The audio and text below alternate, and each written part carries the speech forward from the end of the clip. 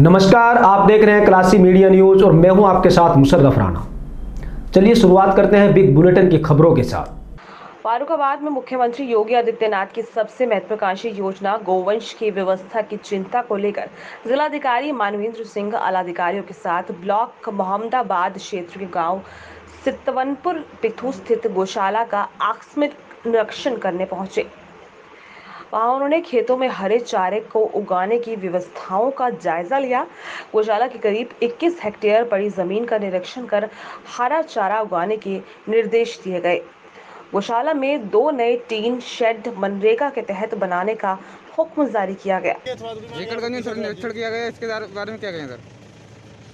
यहाँ पर लगभग एक हज़ार की संख्या में गोवंश को रखने का हमारा विचार है।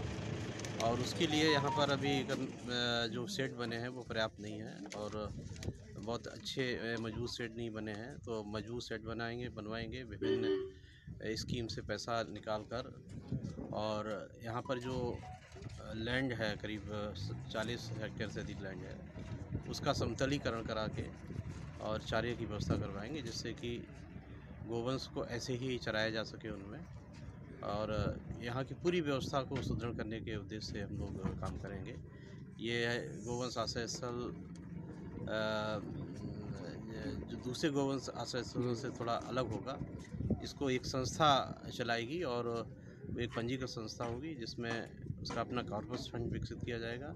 उस कॉर्पस फंड से के के- से जो ब्याज आएगा उससे इसका संचालन किया सर इसमें लाइट की समस्या आ रही है क्या? ये छोटी छोटी चीज़ें इनका इनका निस्तारण कर लिया जाएगा। सर ये चारा जो हरा चारा है जो सूख रहा है?